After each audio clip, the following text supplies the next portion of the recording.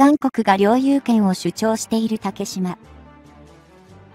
2012年、平成24年8月10日は、当時の大統領イミョンバク氏が上陸して、物議を醸し出したこともありました。東日本大震災の翌年で、日本国内がまだまだ不安な状況下での火事場泥棒をじみた行動に批判も噴出した記憶があります。さて、そんな竹島に急展開が起きたようです。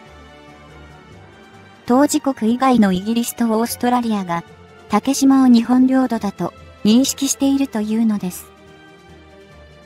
今回は竹島の領有権関連についてスポットを当ててみていきたいと思います。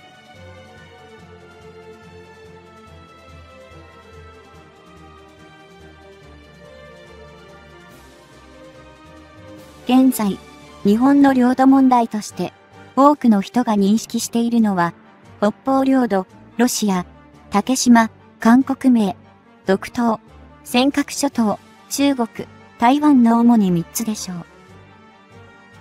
特に、北方領土については、日本地図にも載っていますから、日本人としては、学生時代に教え込まれるはずですね。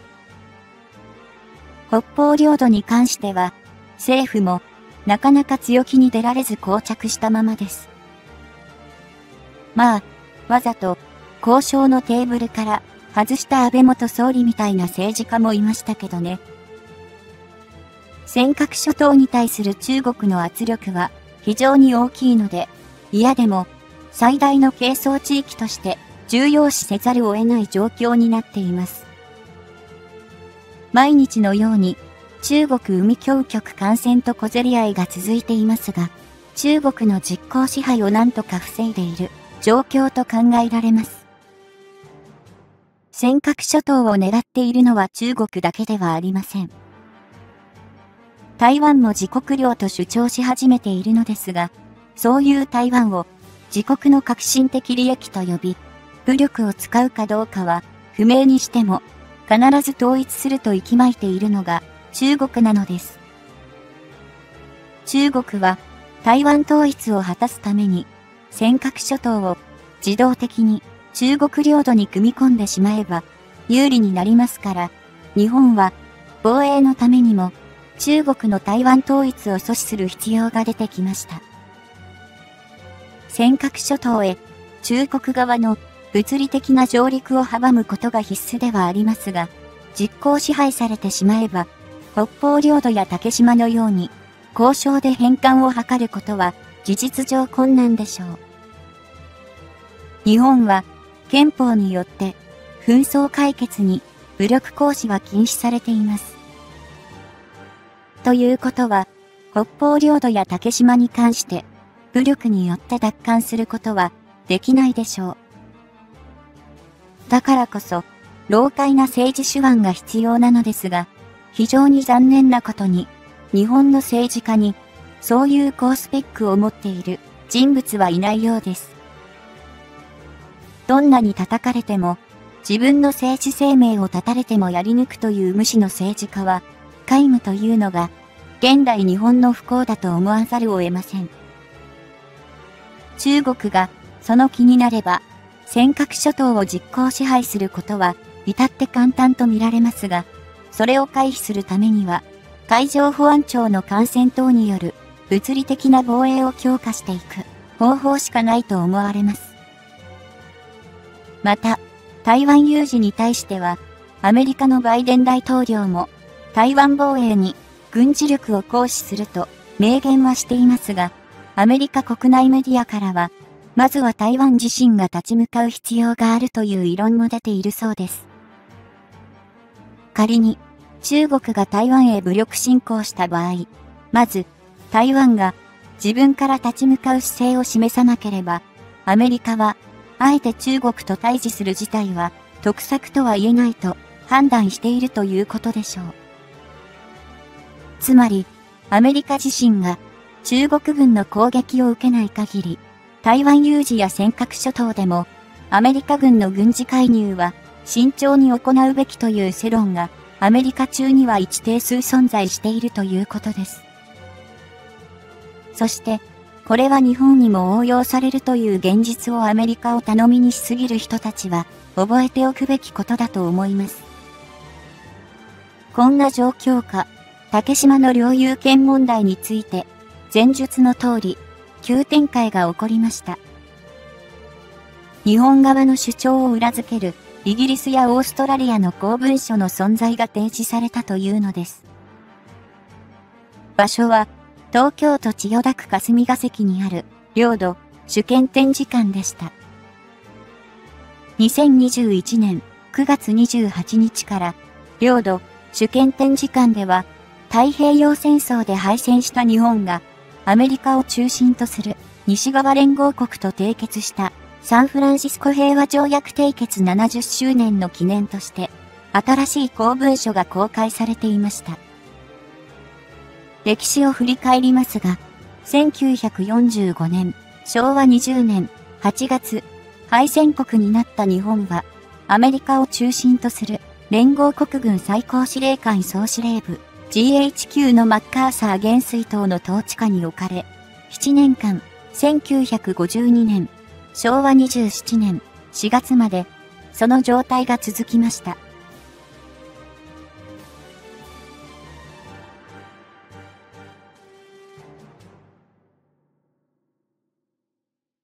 マッカーサー元帥は、1945年9月、いわゆるマッカーサーラインを暫定的に設定し、決められた中で、日本漁船の操業を認めましたが、韓国名で、徳島と呼ばれる竹島が、日本側の枠外になっていたことは事実です。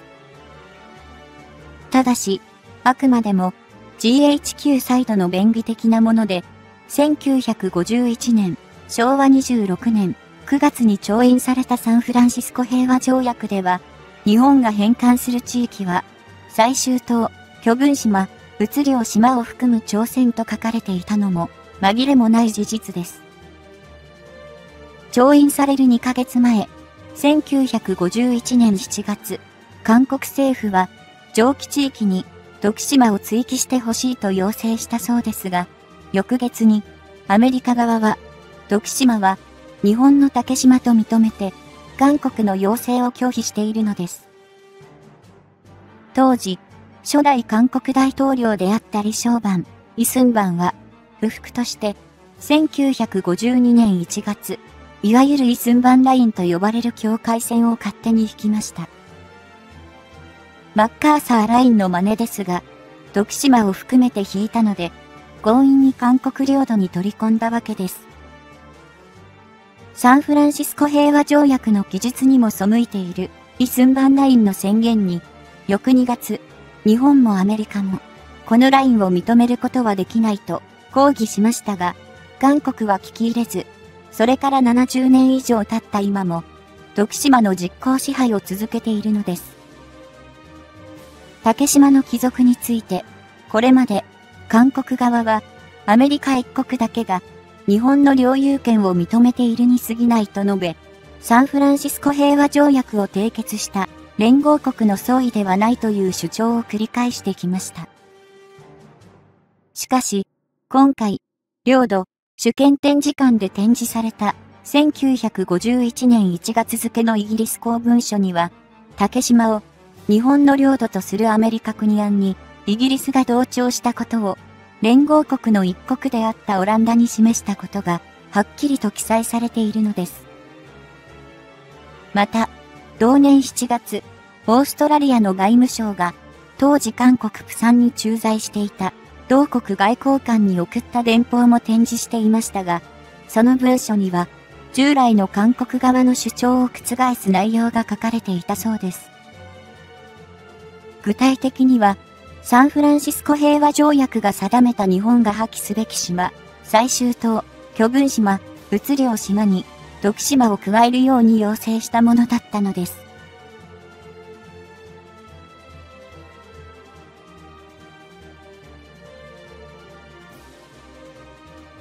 その破棄対象に徳島を加えることを了承させるため、韓国側は地理上の位置を偽って要請しているので、オーストラリアとしては容認できないという見解が示されていました。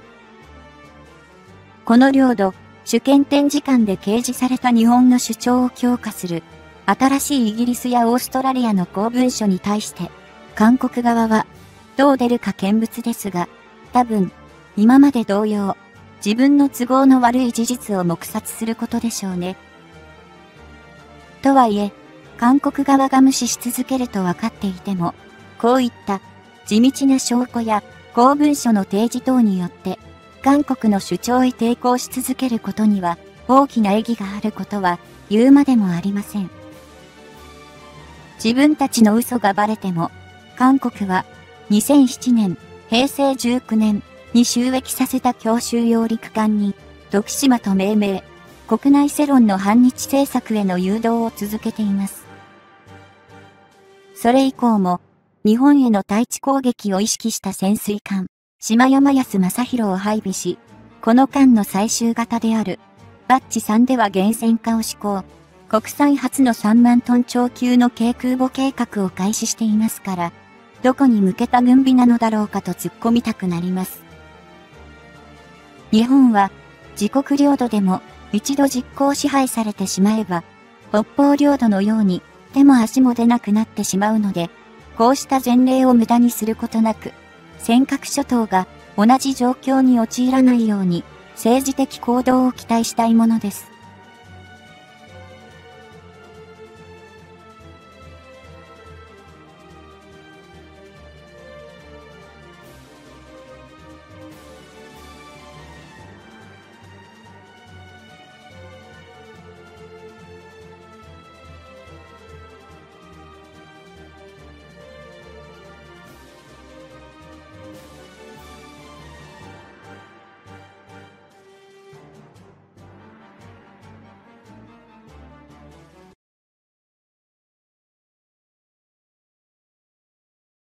数年前から日本が力を注いできたクワッドタスですが、南シナ海での警護任務と合わせ、いよいよ対中包囲網が完成しつつあるようです。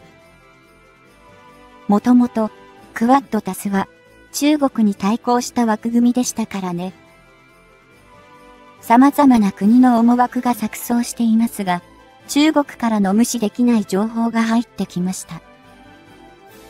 中国が南シナ海に人工島を作ったことは、一時話題になりましたね。その人工島が爆破されるらしいというのです。今回はこの人工島爆破について見ていこうと思います。もともとはちっぽけな島でしたよね。でも、今では小さな国の面積になってませんか？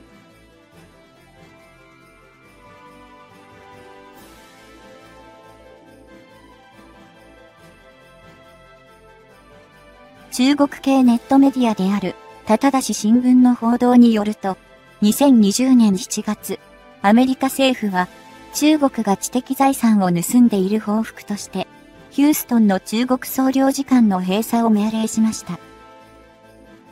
それに引き続いて、中国は、実効支配している南シナ海に、干渉を埋め立てて、人工島を作ったのですが、そこを奇襲攻撃して消滅させる可能性が高いというのです。世界地図を見て、お分かりの通り、南シナ海は、海運による物流量が世界の4分の1を占めるほどの海運物流の要所です。日本においても、中東からの原油輸入における重要なシーレーンなのです。ここ数年、この南シナ海において、中国が20世紀初頭に自国内で定めたとする九段線の地図を根拠として、水域の8割に領有権があると主張し始めました。それに基づいて干渉を埋め立てて人工島を造成した上に軍事基地を建設したりして周辺諸国との間で摩擦を広げる一因としています。中国の行動に対しアメリカは中国による南シナ海の領有権宣言は認められないとして、中国が領有を主張している当初12海里内にイージス駆逐艦を航行させるという航行の自由作戦を展開しました。アメリカ一国だけでなく、オーストラリア海軍などにも参加を促し、南シナ海での中国の海洋権益を認めない姿勢を見せています。アメリカのポンペオ国務長官も、中国は、恐喝に等しい行動によって、南シナ海周辺諸国の海洋主権を侵害しているとの声明を出し、強く非難しました。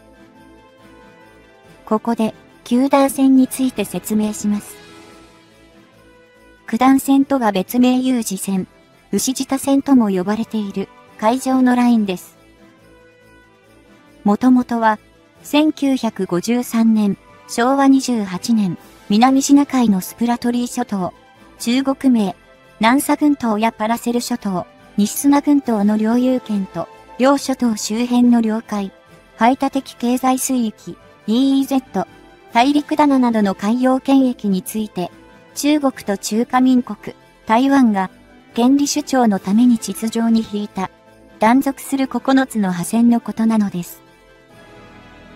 ここで大事なのは、当時の中国と中華民国だけの取り決めということです。海域にある国々のことは無視しているわけですね。2016年、平成28年7月、フィリピンは、オランダハーグの常設仲裁裁判所に申し立てを行い、裁判では法的根拠がないため、国際法違反であるとの採決が下りました。この判決を根拠にして、アメリカは中国の実効支配への動きに反発しています。2020年7月には、先に登場したポンペオ長官が、中国の主張は違法であり、世界は南シナ海を中国の領海とすることを認めないという声明を発表したのでした。この長官の声明について中国の反応です。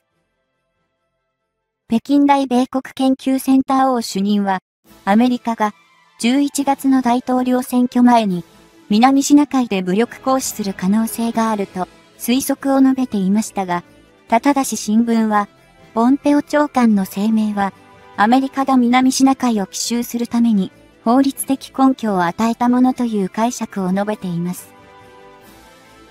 他の中国メディアですが、香港サウスチャイナモーニングポストは、アメリカ軍は南シナ海に毎日のように複数の偵察機を送っていると断定。南シナ海と中国の海岸に対する偵察飛行を従来にはない回数と規模で実施しているとも報じました。ただし新聞によると、アメリカが奇襲攻撃をするなら、まず中国軍が駐留していないスカボロー省、キーワ島だろうと輸送していて、次の攻撃目標は、スプラトリー諸島、南沙諸島になると見ています。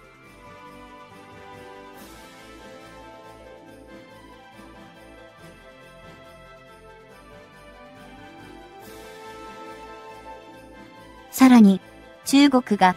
軍事施設、滑走路とかを建設しているファイアリークロス省、英書省ミスチーフ省、ビズミ省スビ省、渚壁省なども攻撃して破壊。周辺の暗礁もミサイルなどで破壊するだろうとも予想しているようです。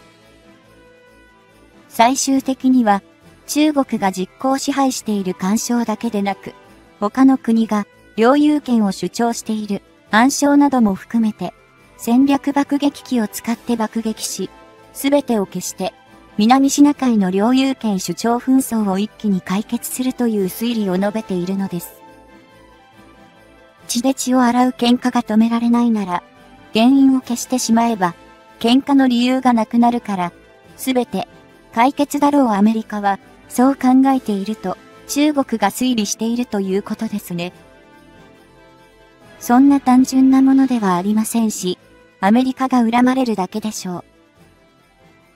こういった報道に対し、北京外交筋は、奇襲攻撃前に、まずは、アメリカから南シナ海の人工島に建設した軍事施設の撤去要求があるはずだという見方をしています。万が一攻撃があるとすれば、アメリカの撤去要求を中国が拒否した場合だろうとも語っているのです。その後の展開ですが、結局、アメリカの大統領選挙前に、アメリカ軍の攻撃への動きは、ほとんど見られませんでした。あるとすれば、空母2隻を南シナ海に派遣したくらいのものですから、ただし新聞のアメリカ中国海戦予想は、外れたということになります。アメリカ密両選挙の結果としては、共和党のトランプ政権から民主党のバイデン政権に移行中ですから、内政で手一杯のアメリカは、しばらくの間、中国への動きを見せることはないと思われます。しかし、南シナ海は無視できない豊かな海域です。漁獲量豊富な漁場があり、海底には石油、天然ガス資源が期待できるだけでなく、前述のように重要なシーレーンでもあるのです。だからこそ、ベトナム、フィリピン、マレーシア、インドネシア、ブルネイなどの国々と中国との対立は、この先も収まることはなく、いずれは、代理戦争としてのアメリカ VS 中国の構図が、より鮮明になってくるのではないかと考えられるのです。九段線をめぐるアメリカ以外の動きですが、中国が自国パスポートの地図に九段線を書き入れたことに反発したベトナムとフィリピンは、パスポートの詐称欄へのスタンプ捺印を拒否、パスポートの地図デザインの変更を強く主張しているそうです。インドは、中国との国境係争地域をインド領にしたデザインの詐称スタンプを作成。中国のパスポートの球団線の上に押すなどして抗議しているといいます。インドネシアは外務大臣が、九段線は絶対認めらない。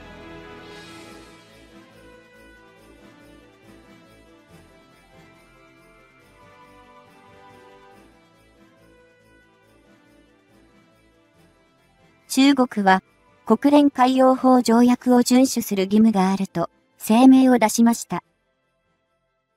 同時に、九段線に接するナトゥナ諸島の陸、海、空の軍備強化に努め、北方海域を2017年に北ナトゥナ海と解消、地図に記載しています。アジアの国だけではありません。香港問題なども注視しているイギリスは、最新鋭空母クイーンエリザベスを中心とする空母打撃軍を南シナ海に派遣、中国を牽制するとともに、今後の南シナ海での活動を見込んで、日本にも寄港して補給基地として利用できるかどうかの調整をすると考えられているのです。そういった状況で、中国人民解放軍は2020年8月の対艦弾道ミサイル発射実験において、ターゲットとして実際に船を配置し、2発を命中、撃沈していたことが明らかになりました。この弾道ミサイルは、空母キラーと呼ばれているトンプー型ミサイルで、消息筋によると、中国浙江省からコチ 21D、射程距離 1500km、西部青梅省から東風 26B、4000km を1機ずつ発射し、両方とも航行させていた標的船に命中させたと言っています。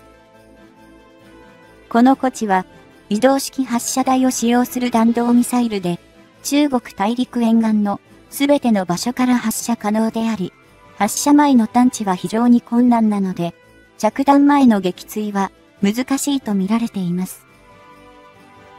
この弾道ミサイルでの船舶攻撃実験は、南シナ海有事に展開されると予想されるアメリカ空母やイギリス空母に対して、東風での攻撃が可能ということを見せつけました。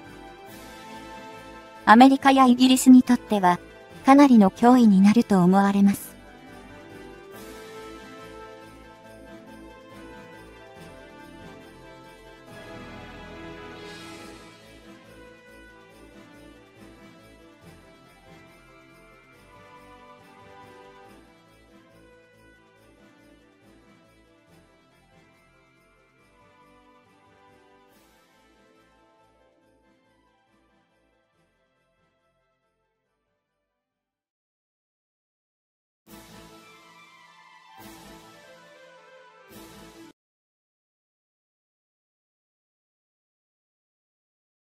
海上自衛隊の所要装備体制が整いつつある中、イージスシステム搭載艦が2隻建造計画が決定している。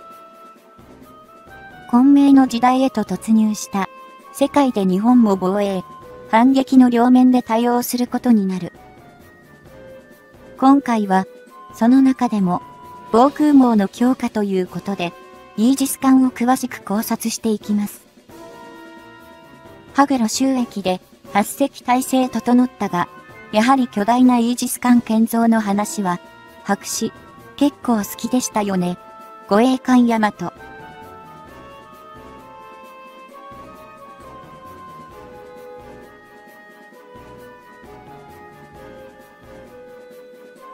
2022年12月16日、日本政府は、かねてより表明していた防衛費の増額と、その使途となる防衛装備品の具体的な調達数等を国家安全保障戦略、国家防衛戦略、防衛力整備計画の3つの文書で表明することとなった。すでに、大枠の内容としては、これまでも漏れ聞こえてきていたものが大半であり、そこまで目新しいものではないというのが、大方の見方ではあったが、個別に見れば、若干の相違点が感じられる部分も存在する。その中で、今回特に着目してみたいのは、四方を広い領海で囲まれた日本の防衛を支える海上自衛隊についてであり、その主力の艦艇については、従来の計画を継続しながら微調整が行われているように見受けるためだ。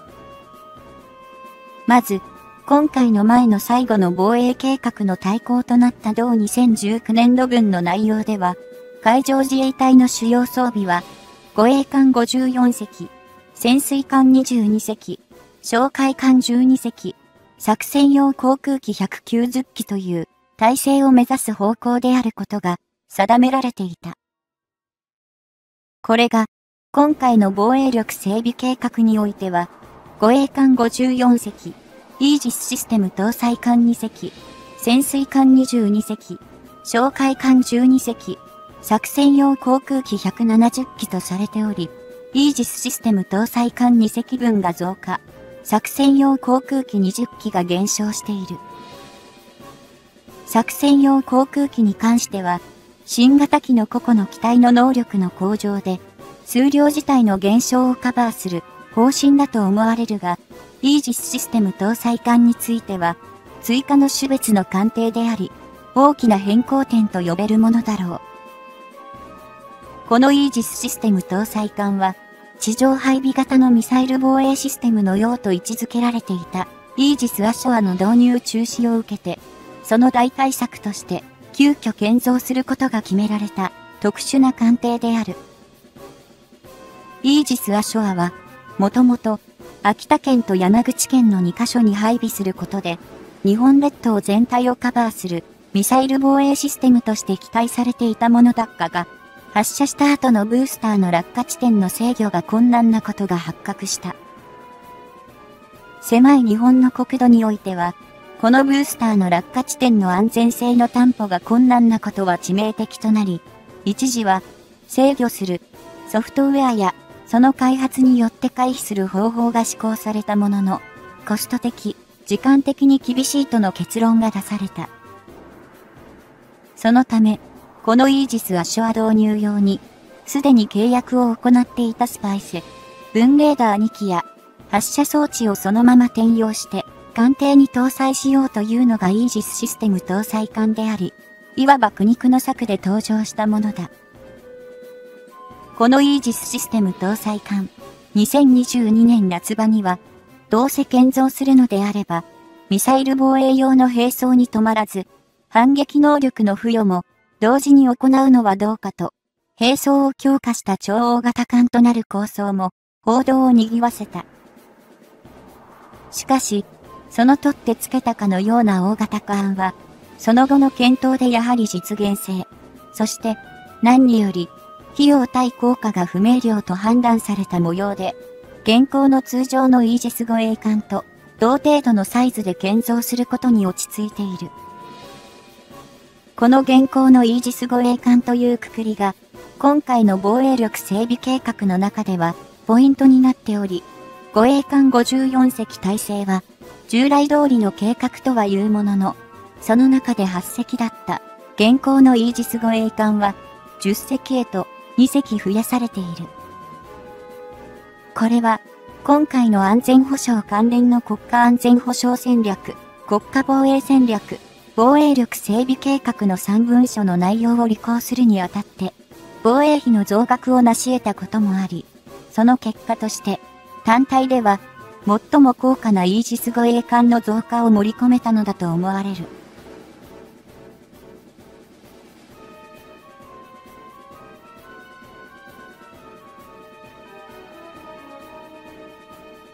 もともと、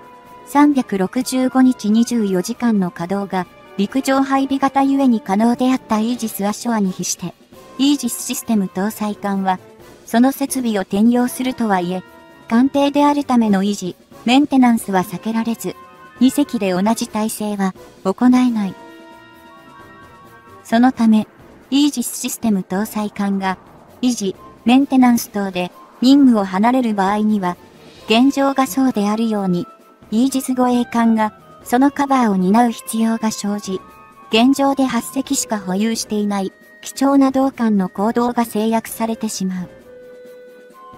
今回のイージス艦を現行の8隻から10隻へと増加させることは、イージスシステム搭載艦の任務のカバーが不可避であるならば、イージス護衛艦の数自体を増やすことで対処しようという必要に迫られた対応なのだろう。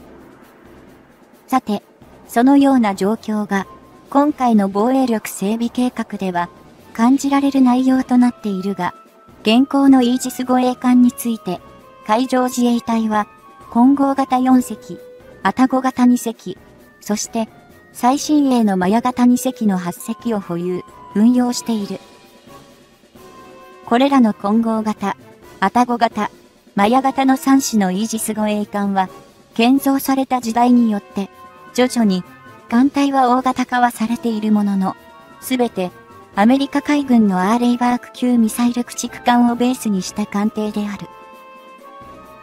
その中で、最新鋭のマヤ型は、当然、最も規模が大きく、基準排水量が8200トン、満載排水量が1250トン、全長が170.0メートル、全幅が21.0メートルの艦隊を持ち、満載排水量で1万トン超級のため、巡洋艦と称されることもある。このマヤ型の規模感は、確かに本家のアーレイバーク級ミサイル駆逐艦の現在の最新バージョンであるフライト 2A をもしのぐものであり、今年から建造される予定のフライト3よりも数値上では上回るものとなっている。マヤ型護衛艦は1番艦でネームシップのマヤが2020年3月、2番艦のはぐろが2021年3月に就役を迎えているが、いずれもジャパン、マリンユナイテッド社の横浜事業所の磯子工場で建造された艦艇となっている。これまでがどうだったかといえば、こんごう型は、3隻が三菱重工業社の長崎造船所、1隻が IHI 社の東京第一工場、あたご型は、2隻とも三菱重工業社の長崎造船所で建造されており、ジャパン、マリンユナイテッド社はまや型が初めてのイージス護衛艦建造だ。こんごう型とあたご型は、機関部には、複数のガスタービン機関を組み合わせた、 COGAG 方式を採用しており、数値上からは、最大出力は10万馬力で、最大速力は30ノットであり、このクラスの艦艇としては世界標準と言えるだろう。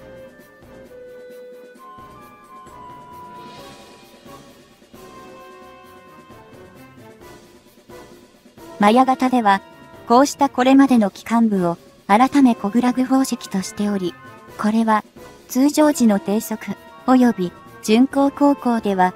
ガスタービン機関によって発電機を回しその電力を用いて推進し、高速航行には別の専用のガスタービン機関も直接駆動で稼働させる。このコグラグ方式の採用によって、マヤ型は最大出力は6万9000馬力で、最大速力は30ノットと公表されており、先に挙げた混合型やアタゴ型に比すれば、カタログ数値は低下しているが、実用性と航続距離を優先したことが伺える。ただし、厳密には、混合型及びアタゴ型の最大速力は30ノット以上であり、これに比して、マヤ型は約30ノットと表されているため、実際の最大速力も低下している可能性が高いが、対艦ミサイル等の攻撃から見れば大差はないのだろう。マヤ型には、イージス護衛艦として核となる兵器突っかえ、システムとしては、AWS、イージス武器システムとしてベースライン J7、弾道ミサイル防衛システムとして、BMD5.1 の2つを統合して搭載、迎撃用ミサイルの SM6 は、後日装備となっている。ただし、マヤ型には、CEC、共同光線能力が海上自衛隊の艦艇としては初めて実装されており、友軍の艦隊の艦艇と共同して脅威となる敵への射撃管制に必要な情報を即時共有できるもので、今後の必須の能力となることは間違いない。こうした機関部や戦闘システムにおいても、一口にイージス護衛艦といっても、従来の混合型やアタゴ型から進化を遂げているのがまや型だが、海上自衛隊の中では、次の心臓艦は、また、別の環境になるとの見方が有力である。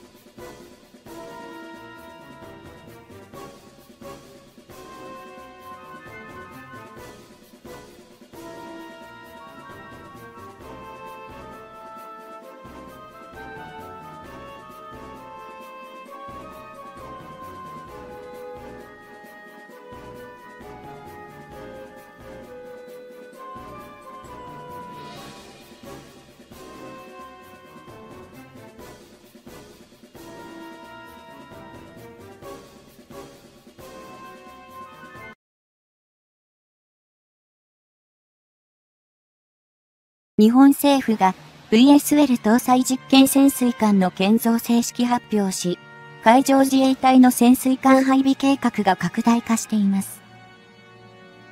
今回は海上自衛隊で原子力潜水艦を保有、建造するかという話を詳しく考察していきますね。源泉建造費に3000億円で大芸、潜水艦約900億円、VSL 搭載潜水艦が、その上、1000億円とすると、3隻ほど建造できます。世界最強の戦略型潜水艦通常動力版を、建造でだ、スペックダウンした潜水艦を売るなんてできたらいいですけど。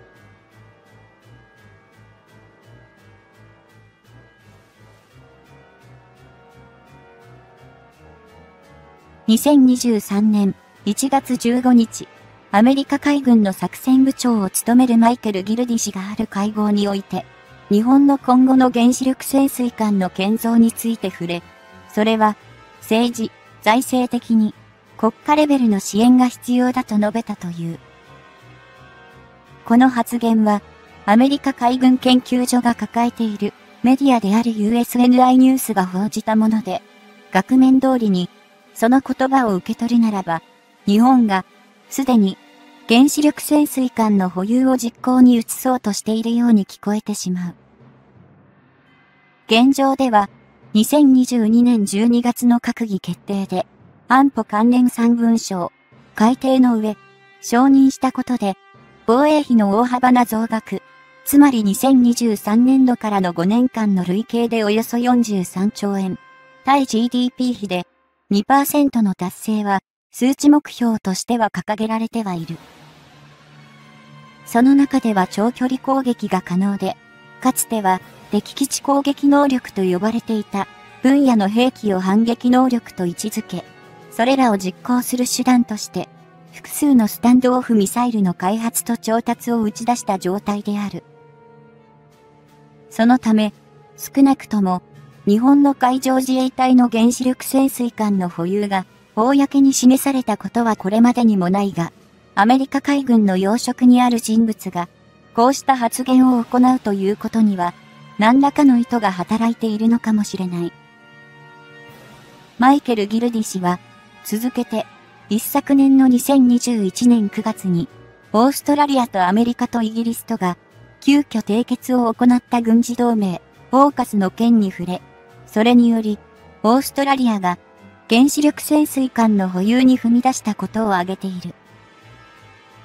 このオーストラリアの決断と同じ方向性で、マイケル・ギルディ氏は、日本の海上自衛隊が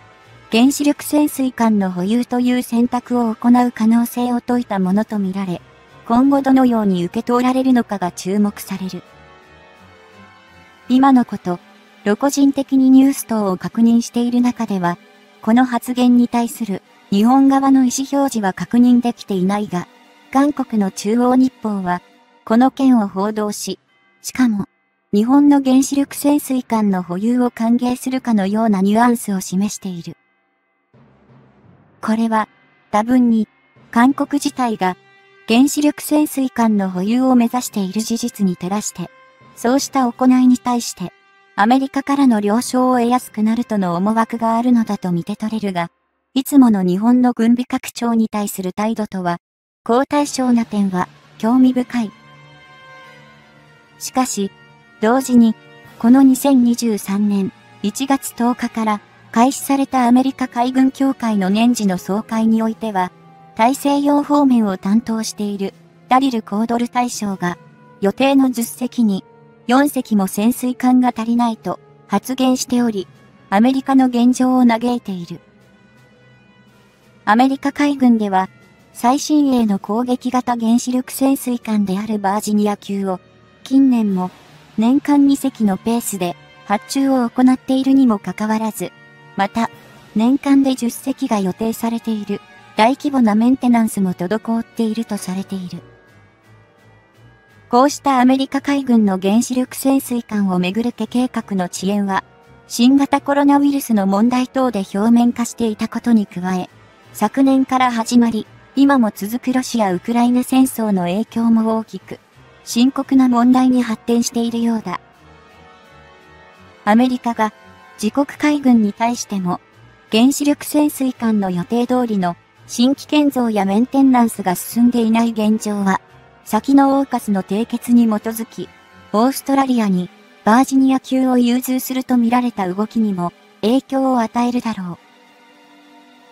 オーストラリア海軍の攻撃型原子力潜水艦の件については、アメリカらならばバージニア級、イギリスからならばアスチュート級が候補とされてきたが、イギリスの余力はアメリカ以上にないと考えられてきた。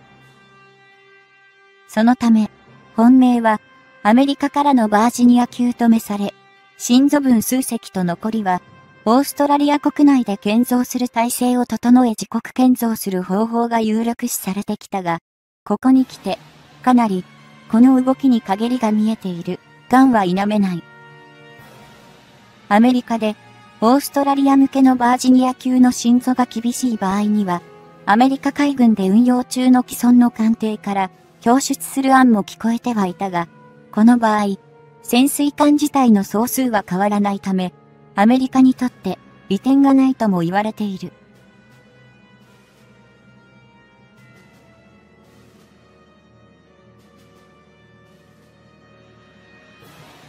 結局のところ、オーストラリアは原子力潜水艦の保有を打ち出してはみたものの、既存の通常動力型潜水艦であるコリンズ級6隻に対し、延命措置としての近代化改修を施しつつ、次の手を模索する必要に迫られている。さて、肝心の日本であるが、オーストラリアと最も異なる点は、原子力発電所という設備を設置、維持できる技術的な能力は保持している部分であり、潜水艦用の原子炉の開発についても、粗々の素地は備えているとは思われる。そのため潜水艦に搭載するための原子炉の開発には、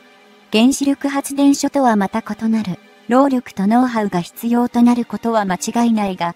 技術的な基盤を国内で抱えているという点においては、オーストラリアよりも分があるだろう。現在の日本の海上自衛隊における潜水艦は、通常動力型のみの攻撃型に限定はされるものの、親潮型9隻、総流型12隻、大芸型1隻が実戦配備されており、中期防衛力整備計画で目指した22隻体制を充足している。例えば、イギリス海軍であれば、攻撃型潜水艦も、すべて原子力潜水艦で統一しているものの、トラファルガー級1隻と最新鋭のアスチュート級が6隻の合計7隻の保有に止まり、数の面では日本よりもはるかに少ない。これはフランスでも同様であり、同国も攻撃型潜水艦は原子力推進のみだが、収益中であるのは、デュビ級が6隻、最新型のシュフラン級が、ようやく、昨年2022年6月に収益、イギリスと同様に、7隻の体制を構築している。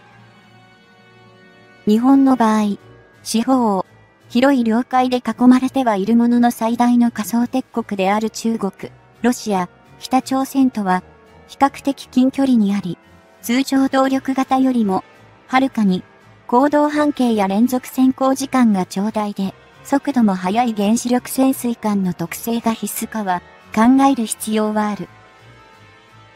何より、海上自衛隊の潜水艦の場合、現行の最新鋭の体系型でも、建造費は上昇しているとはいえ、一隻あたり、未だ800億円ほどで建造できているが、原子力潜水艦となれば、建造費は確実に一桁は上昇する。それを考慮するならば、確かにほとんど浮上する必要がなく、数ヶ月にわたって作戦行動に従事することが可能な原子力潜水艦は制限が少なく、運用の幅は広がることは事実だが、適正な費用対効果があるか否かは検討すべきだろう。純粋に軍事的な観点からは、日本が攻撃型の原子力潜水艦を保有すべきかどうかは、議論と検討を深めていく必要性があると思えるが、政治的に今の既存の政党がいかにこれを捉えているのかについても触れてみたい。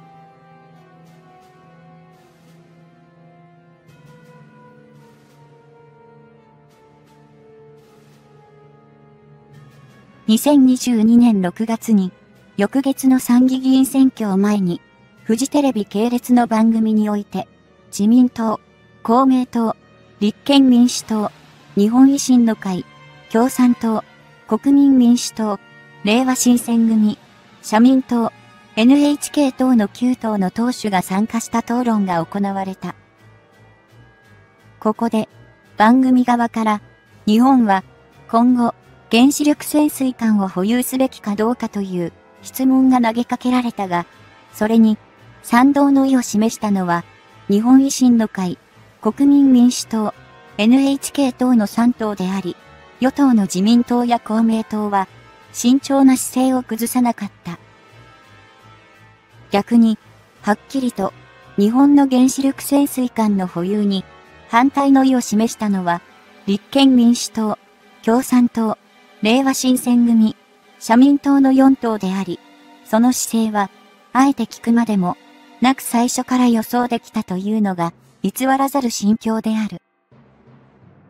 2022年の参議院議員選挙の結果を挙げるまでもなく、これら立憲民主党、共産党、令和新選組、社民党ら4党が民主主義に照らして、日本の大多数の国民に支持を得ていないことは明白で、今後も状況が変わることはないだろう。与党である自民党は、日本が原子力潜水艦を導入することになれば、膨大なコストが必要と答え、施策として、必ずしも優先順位が高いものとは言えないとの見解で、公明党も費用的にも現実的ではないと答えている。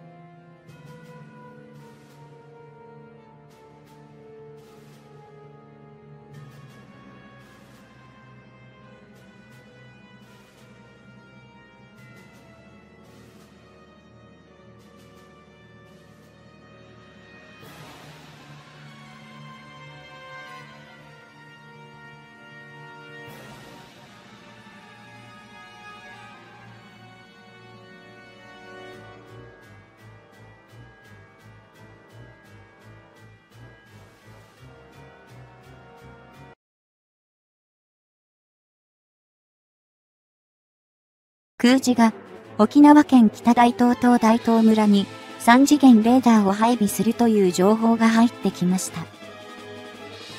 今回は、この航空自衛隊の配備計画について見ていきたいと思います。3次元レーダーを配備することで、太平洋側の防衛強化が期待できるそうです。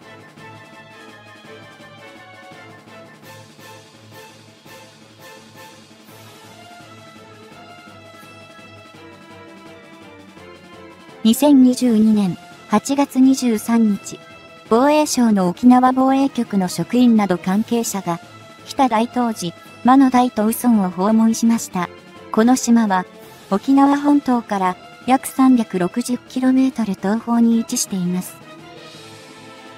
やってきた人々は、この地域の水道や道路等、インフラに関する現在の状況について確認作業を行いました。これまでに、大東村には、防衛省の委託を受けた民間事業者が、8月上旬、測量調査のために入村しています。これによって、前月7月に航空機から行った測量調査と合わせて、将来的にも精緻な現地の状況把握が進んだことになりました。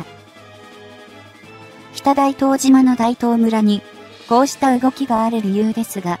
航空自衛隊が装備する移動式警戒管制レーダー設備を持つ部隊を新たにこの島に配備、展開するための事前準備なのです。最大の理由は南西諸島の防空体制強化ということです。空自は日本全国に固定施設であるレーダーサイトを28カ所設置しています。そこでは日本の領空に無許可で侵入してくる不審な機体がないかを常時監視していて、ここからの情報を4カ所の防空指令所に集約して適切な対応をとっているのです。各々の防空指令所では、集められた情報をもとに、地域ごとに置かれている待機中の戦闘機部隊に対して、スクランブル発進を行うか否かの指示を出します。つまり、日本の領空を24時間間体制で警備する体制を敷いているのです。と言っても、このような監視体制のようとなるレーダーサイトは精密機械ですから、何か不測の事態が起こる可能性もあります。思いがけないトラブル、悪天候による障害、最悪の場合、敵からの攻撃を受けて破壊されることもあり得るでしょう。そうした情報収集任務を完全に果たせない状態に陥ることを避けるため、代替手段を備えておく必要があります。こうした場合、最初に、この役割を担い得る存在というのは、E2C、DIE767 といった固定翼の早期警戒管制機です。これらの機体は、十分に稼働できなくなったレーダーサイトの監視範囲を空から補填する活動に従事することができるそうです。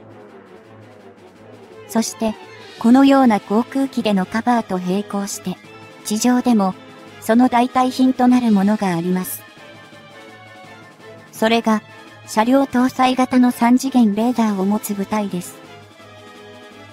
車載型ですから、陸上を移動可能なレーダー設備と言えましょう。移動すれば、敵に所在地がバレることもないでしょうしね。この陸上移動型レーダーサイトは、3つの要素から成り立っている設備だそうです。巨大な筒状の3次元レーダー J、TPS-102A、航空機の飛行データを処理する装置、それらの装置に電気を供給する発電機という3つで構成されたシステムなのです。その中で中心になるのは、3次元レーダー J、TPS-102A です。前述の通り、巨大な筒状の3次元レーダー J、TPS-102A は、戦闘機等の機種部にも採用されている、フェーズドアレイ式を採用したもので、本体部分を見ても、どこが動いているのかは、パッと見ではわからないようですが、東西南北、上下左右、全周囲の索敵を行える機能を持っているのです。こういった車両搭載型3次元レーダーは、戦時だけでなく、平時でも活躍しています。それは、固定式のレーダーサイトの定期的維持管理のためのメンテナンス等を行う時のことです。今後は、北大東島に、常設で、このシステムを配備しようという計画になっているそうです。言うまでもなく、その最大の理由は中国です。アジア最大の軍事大国が、黄海、東シナ海、南シナ海、そして西太平洋へと海洋進出を加速させていることは、知らない人はいないでしょう。この中国軍に対する警戒、警備体制の強化と、年々増強される同国の航空戦力に対抗するための情報収集能力向上が目的です。今回車両搭載型3次元レーダー配備先の候補地として名前が挙げられている北大東島の大東村ですが、この島とは別に東京都の小笠原諸島父島も検討対象にされたことがあるそうです。父島にも将来的には配備されるかもしれませんね。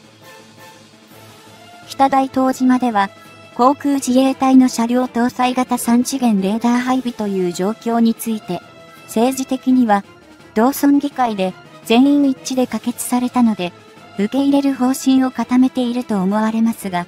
場所が沖縄ですから、どうしても、マスコミやメディアの批判は根強いようですね。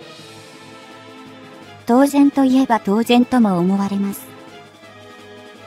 沖縄メディアの一つ、琉球新報は、前年2021年12月11日付社説として、北大東寺前の車両搭載型3次元レーダーの配備に反対しています。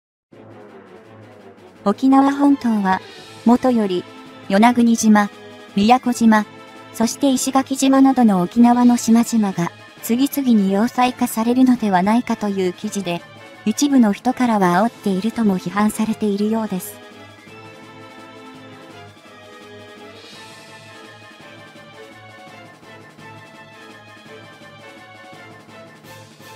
在日アメリカ軍基地の大半が集中する沖縄は、アメリカ車両による交通事故や航空機の墜落事故、少女暴行事件など事件が多いこともよく知られています。なのに、治外法権のごとく、責任を問われることもなく、謝罪もなく、本国へ帰国するアメリカ軍兵士やそれを許す安保条約とは、一体何なのかと心ある人は考えるでしょう。古くは太平洋戦争時に凄惨な地上戦闘が行われたことも忘れてはなりません。こうした歴史を経た沖縄に対して多くの本土住民は同情を寄せているはずですが、残念なことに日本を取り巻く安全保障の環境は今まで以上に悪化しつつあります。2022年8月初旬、中国軍が台湾周囲の6カ所の空海域で大規模な軍事演習を強行しました。その中で発射された中距離弾道弾5発が、波照間島周辺の日本の排他的経済水域に落下したことはニュースで報道されましたね。中国の行動はエスカレートしていると感じられます。しょっちゅう問題になるのが尖閣諸島です。この周辺海域へ。中国海峡局の艦艇が侵入するのは、もはや状態化しているようです。報道されても、またか、と感じる方も多いのではないでしょうか。尖閣諸島単体で考えた場合、中国が、この島に上陸して占拠する合理性は、かなり低いと考えられるのですが、台湾とセットで考えれば別です。雪がけの立ちんという言葉がありますが、ついでに取ってしまいと考える可能性もないとは言えないでしょう。大国がそんなことをするはずがないだろうという希望的観測は、ロシアのウクライナ侵攻で打ち砕かれましたね。中国が威嚇を続けているように、本当に台湾を武力による侵攻にまで及ぶのかと考えた場合、中国側の被害を鑑みれば、得策とは言えないでしょう。むしろ威嚇を強めることで、台湾の一般人が自主的に中国に屈するように持っていきたいというのが狙いとみられます。このやり方は、ロシアがウクライナ侵攻で行っているやり方と同様で、東部ドンバス地方を含め、2014年、平成26年に強制的に併合したクリミア半島のように、占領地域で、表向きは住民投票によってロシアへの編入を選択したと見せかけるものです。前述の沖縄琉球新報社説のように、沖縄本島のマスコミや一部団体は、在日アメリカ軍や自衛隊基地が沖縄にあるからこそ、戦争に巻き込まれるという論理を展開します。しかし、現在のロシアや中国を見ると、たわごとに過ぎないという意見があります。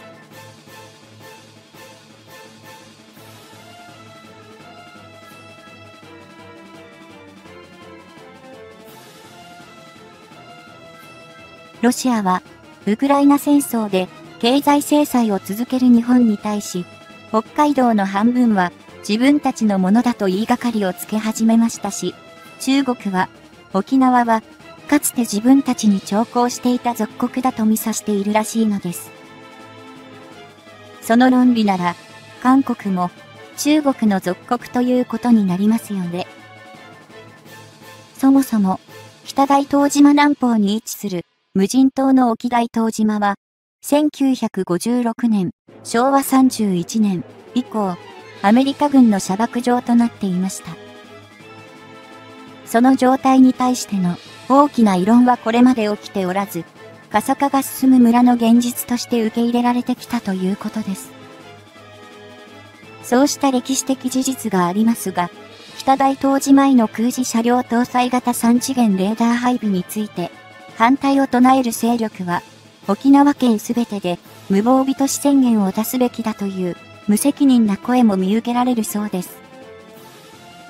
この無防備都市宣言というのは、正式には無防備地域宣言と言います。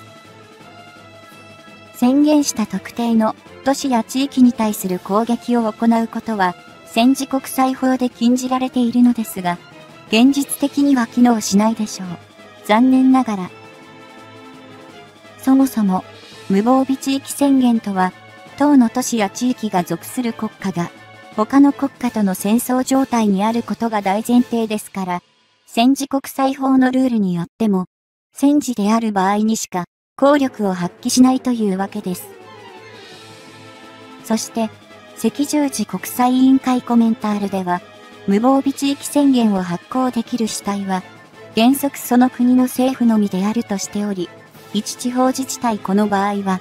大東村や沖縄県は行えないということなのです。個人的には、いいアイディアではないかと感じるのですが、日本政府をはじめ、国家としては、国家そのものが持っている自衛権を一地方自治体がひっくり返すような体制ではありません。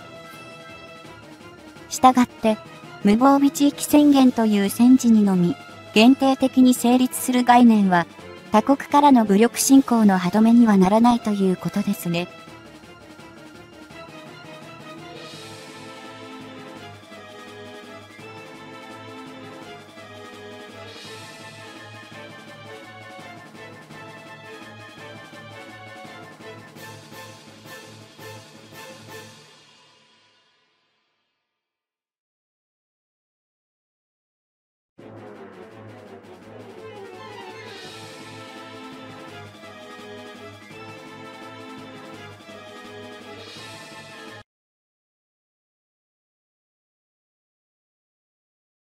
海上自衛隊護衛艦の2番艦、加賀が改修工事に入っており、戦闘機 F35B を艦載するための甲板や格納庫の改修が進んでいる。今回は、護衛艦、加賀や出雲での F35B 戦闘機運用にスポットを当てることにした。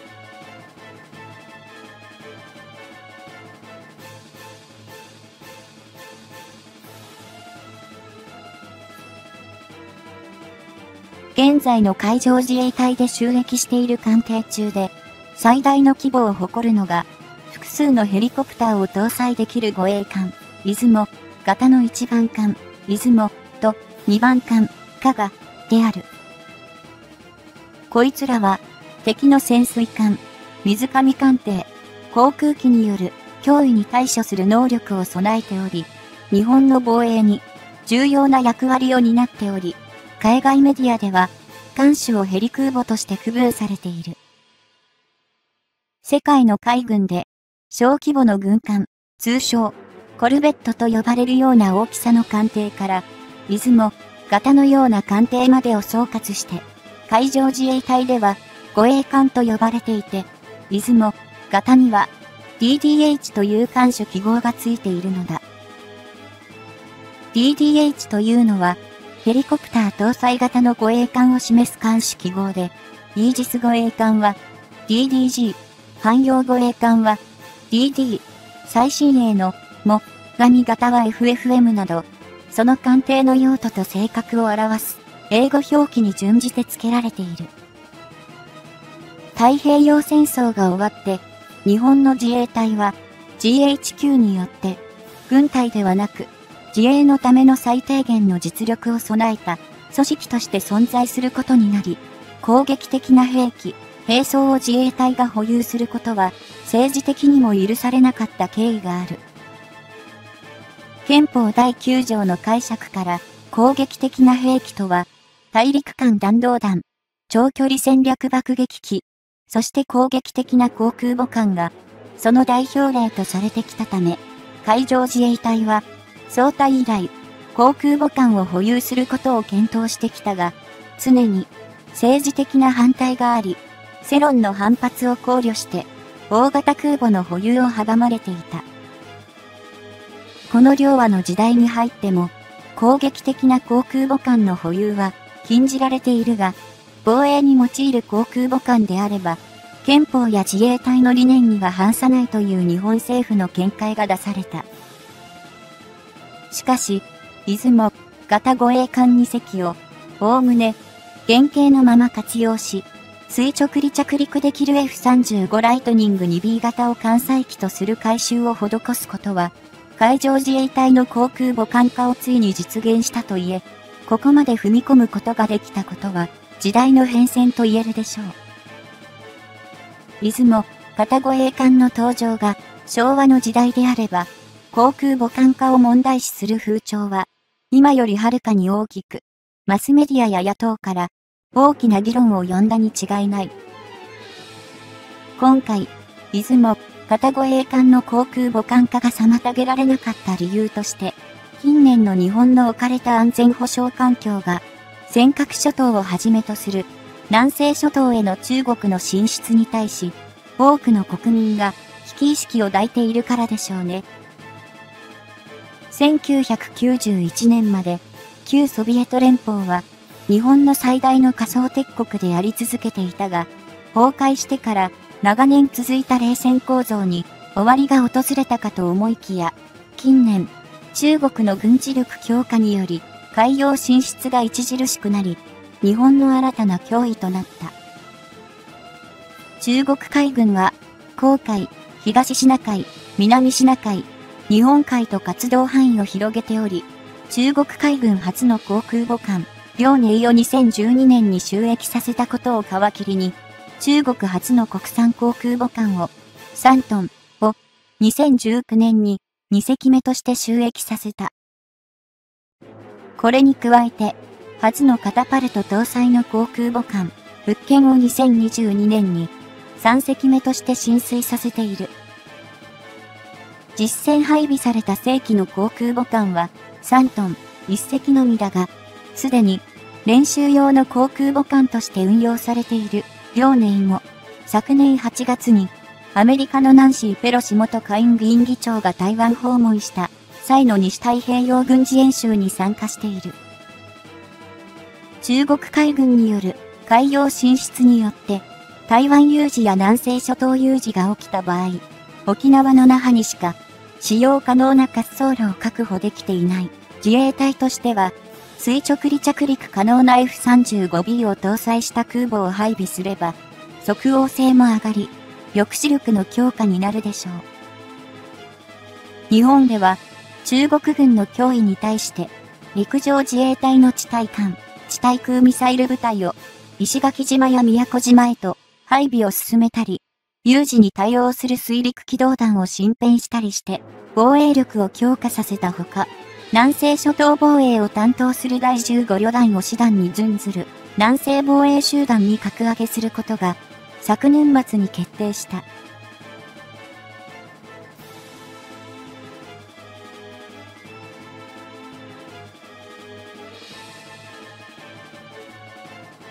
先に、横須賀基地第1護衛隊所属の一番艦、出雲から航空母艦化の改修工事が始まっており、2020年3月から2021年6月までに第1次改修を終え、同年10月5日には、米海兵隊の F35B を発着艦させる検証を終えている。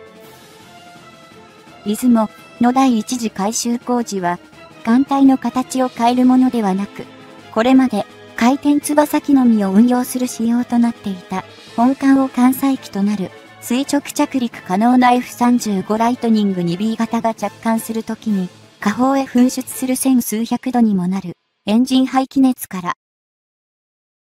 飛行甲板を保護するための耐熱強化を中心とした改修工事のほか、電源設備の設置などのインフラ整備を整えた工事が行われ、甲板にはアメリカ海軍の規定に準拠した F35B 離着陸用の黄色のセンターラインが引かれるなどが施された。これらに加えて、F35 ライトニング 2B 型を全天候の環境下でも安全に着艦させるための誘導装置の搭載も行われており、様々な改修工事を終えた出雲は、現在、通常の海上防衛任務を遂行している。出雲の第2次改修工事は2024年度末から予定されており、そこで、艦を上空から見ると、台形状の飛行甲板を四角形状へと拡幅される監視形状の変更工事が決まっている。これは、基本的に、垂直離陸と着陸のみを行う回転翼機では、不要であった滑走スペースを短距離離陸が必要となる F35 ライトニング 2B 用に確保するために、この飛行甲板の拡幅工事を行う必要があり、その運用効率の向上をさせることが目的であり、2回目は2026年度中に終了すると見込まれている。もともと、出雲型は設計段階から将来の F35B の搭載の可能性が考えられていたのか、当初からエレベーターのサイズなどが決まっており、そのため、エレベーターの改修のような大工事をする必要はない。一方で、5基地第4護衛隊所属の2番艦、加賀は、2022年3月より、軽空母化に向けての第1次改修工事に入っており、出雲の1回目と同様の短距離離陸と垂直着陸が可能なステルス戦闘機、F35B を搭載するための改修工事に加えて、出雲に先駆けて、監視形状を四角形に変更する先端の拡幅工事は、同年12月に、おおむね終了している。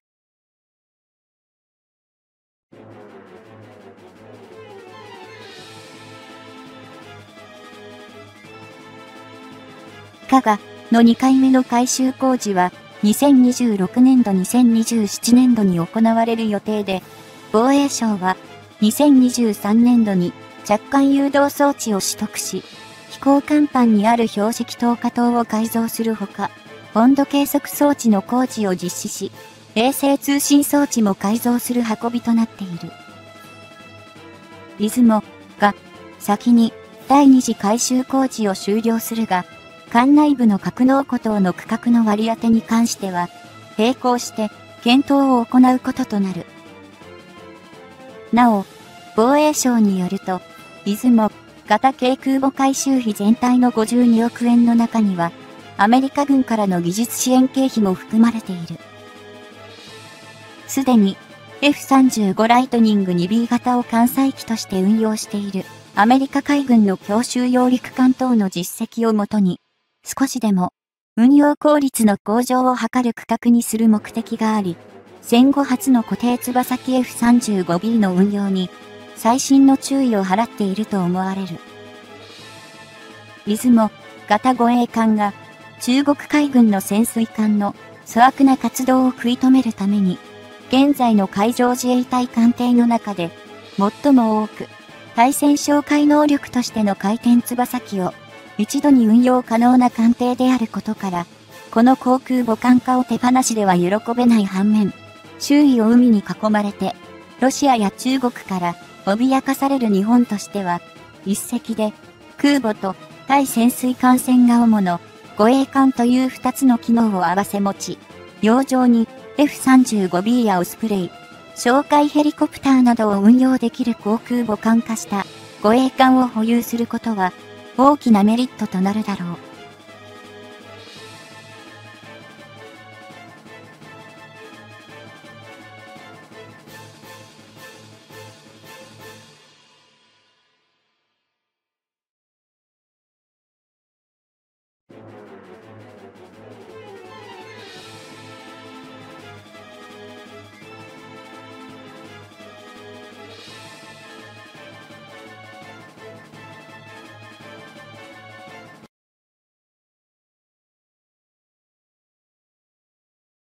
動きが活発になる近年、海上保安庁でも巡視船の造船が着々と進められています。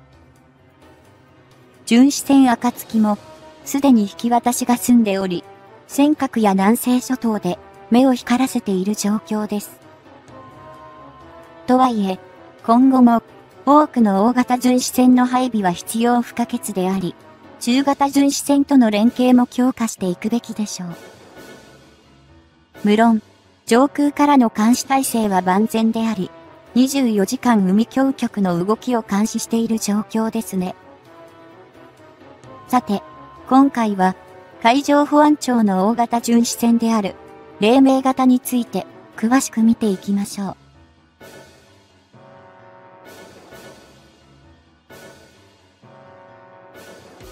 海上保安庁の最新艦艇である黎明型巡視船の2番艦、暁が収益したのは、2021年2月16日のことだ。暁は、そのまま、中国公船が、幾度となく、侵入を繰り返している、尖閣諸島を管轄下に置く、第10管区海所保安本部に配属。鹿児島港を母港とする第10管区海所保安本部は、本所に、一番艦で、ネームシップの黎明とともに暁が配備されており、今後とも尖閣諸島を含む南西諸島の防衛を行う上で重要な役割を果たすことは疑いようのない事実である。ここで、黎明型巡視船の諸言について掘り下げていくのだが、排水量が約7300トン、全長150メートル、全幅17メートルの艦隊に1機9000馬力を発生するディーゼル機関を4機搭載している。また、最高速力は25ノットと、海上自衛隊の艦艇と比較しても、何ら遜色のない規模なのだ。しかしながら、通常の海上自衛隊護衛艦で並走されているような、追艦ミサイルや魚雷などを装填する兵器は、装備すること不可能となっている。これは、あくまでも、警察としての力の範疇を超えないための配慮であり、その代わりに、70口径40ミリのボフォース射精単装機12機と20ミリ、バルカン砲を2機ずつ採用しているようだ。その他には、遠隔放水銃や停戦命令等表示装置、遠隔監視と小装置などに加え、両舷に、救難用の高速警備救難艇、全天候型救命艇、警備艇が搭載されており、これらはテレビでもよく目にするような装置たちである。黎明型は前級である秋津島や前々級の敷島に次ぐ6000トン超級の大型巡視船だ。今回着目していく、暁の建造費用はおよそ234億円で、2010年度計画で建造された、秋津島の発展型とされている。しかし、計画年度が6年離れていることから、全体的に改良が加えられたものとなった。まず後部マストだが、秋津島では、全部マストと同じラティス構造だったものが、暁においては、サーチライトや FCS の台座を兼ねた登場のマストに改良されている。加えて、居住区画は防音が徹底されており、政府材が活用され、居住性も格段に向上しているようだ。言うまでもなく、任務の長期化にも対応可能なように、十分な保存水や食料などを搭載するスペースも確保されている。ここで、海上自衛隊の最新鋭イージス艦である、マヤ型の諸言を見ていくのだが、基準排水量8200トン、満載排水量1250トン、全長170メートル、全幅21メートルの艦隊で、6万9000馬力の機関を搭載し、30ノット以上の速力となっており、この数値を見る限り、やはり、黎明や暁もほとんど見劣りしない数値を誇っているのだ。だが、建造費としては、やはり、イージス艦の方が高額であり、マヤ型が S 隻あたり1700億円であるのに対し、暁は、その6分の1で製造することができる。無論、海上自衛隊の護衛艦は、敵と戦闘することを前提に作られたものであり、それゆえに巡視船と比較して、設計や構造的に高額になることは仕方のないことだ。だが、特に、マヤ型においては、